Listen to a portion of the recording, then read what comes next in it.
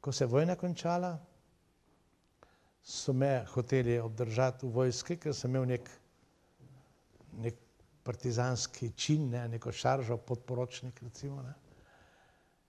In jaz nisem hotel ostati v vojski, ker nisem imel nobenega eh, nobenega namena, da bi delal vojaško kariero, pa tudi če bi bil general.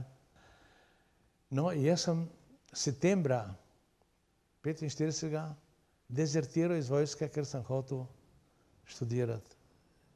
In sem rekel, jaz sem se boril tudi za to, za mojo osebno svobodo, da sam odločam, kaj bom.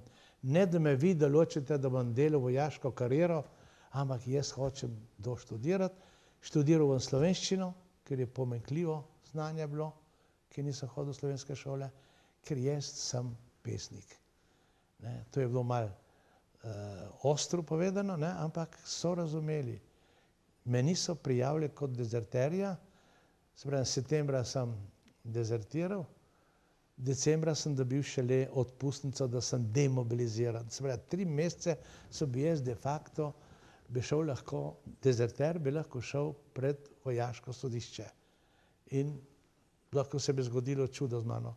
To je spet ena mojih potez norih, ne, ki se je obnesla razumeli so to mojo silno željo po študiju. Ne? In me so zamižale pred tem, da sem kršil, da sem zapustil enoto brez dovoljenja kogarkoli, ampak sem rekel, šel sem. In sicer tako zelo humorno, ko sem zelo živce paral tako komandantu brigade kot komisarju, bili smo naša enota, Gubčeva brigada, imela sedež v postojni in jaz sem vsak dan klistiral, jaz moram študirati, moram študirati, moram študirati, dejno mir, dejno mir, pa mi imamo druge skrbi, pa to, pa ono, pa veš, kako si dragocen med nami in to me tam takoj me predlagali za odlikovanje, ne vem kaj.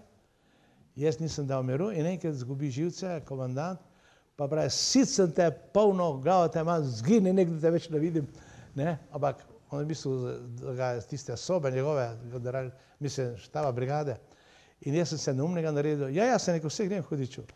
In sem šel naravnost na postajo, postojni in prvi vlak, ki je propel, oziroma je že izpeljavo z postaje, jaz sem tekel za njem, se prijel za odbijača in se do Rakika tam visel na tistem eh, in pol šel šele v vagon.